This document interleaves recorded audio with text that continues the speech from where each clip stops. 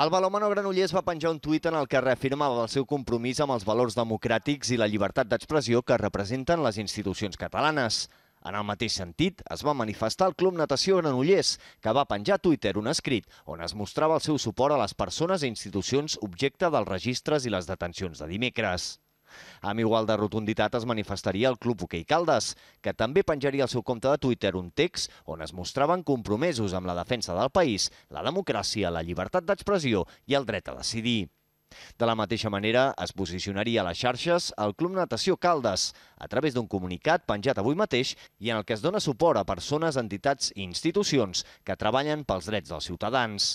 El Club de Futbol Olímpic La Garriga penjaria també un escrit de suport i rebuig als actes del govern espanyol d'aquest dimecres, adjuntant la portada de la revista Òmnium, censurada per correus.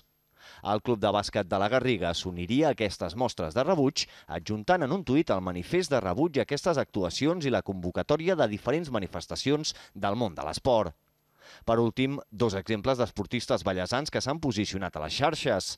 D'una banda, Aleix Espargaró, que responia a una interpel·lació d'un usuari amb un cap por, 100% a favor del dret a decidir i en contra de la barbària que està fent contra la democràcia el govern espanyol. La tenista granollerina Laura Pous ha optat per retuitejar el tuit de repulsa en anglès de Kilian Jornet, on explica que quan les demandes pacífiques i els problemes polítics es responen amb intimidació i repressió, no es pot parlar més de democràcia.